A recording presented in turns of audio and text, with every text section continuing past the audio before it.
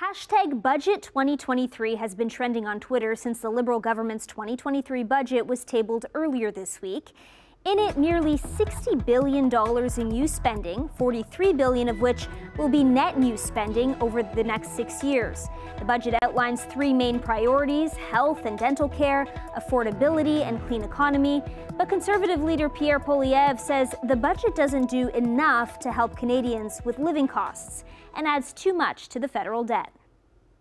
Hamilton Centre MP Matthew Green joins us now after spending the past few days debating the Liberal government's proposed budget. Mr. Green, was there anything in the budget that surprised you?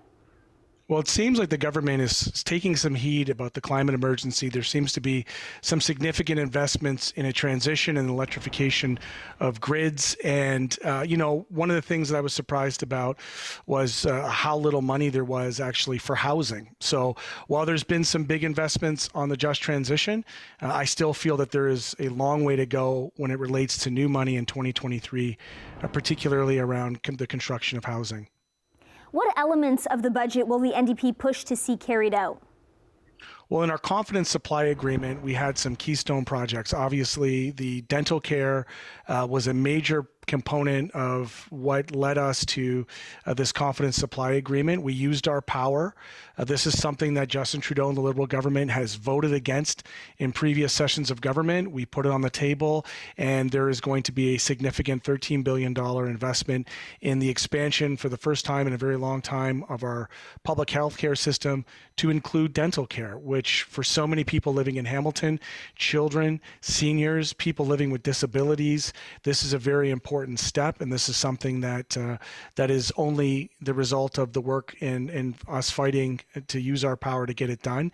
And then there's some pretty important uh, labor issues, like for instance, uh, the anti-scab legislation, which has been something that New Democrats have fought for for a long time, which protects the rights for workers to collectively bargain, to withdraw their labor from capital and strike, whether they're locked out or whether they're in a strike position.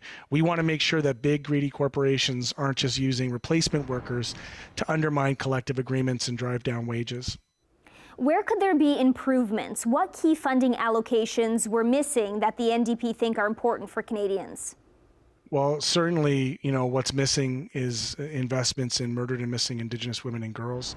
Uh, we only have to look to the stories that are continuing to develop across the country uh, on this tragedy, and not enough has been done there.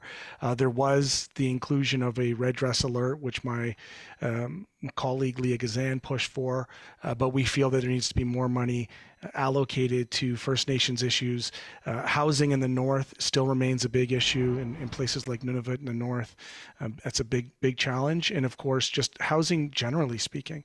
The fact that there is no new money in the budget for housing at a time when there's being investments made in all of these other files seems to be clear that this liberal government um, continues to be missing in action on uh, you know meeting the challenge and the crises that results in the most vulnerable among us being pushed to live on the streets and in tents in our parks and our playgrounds in our alleyways.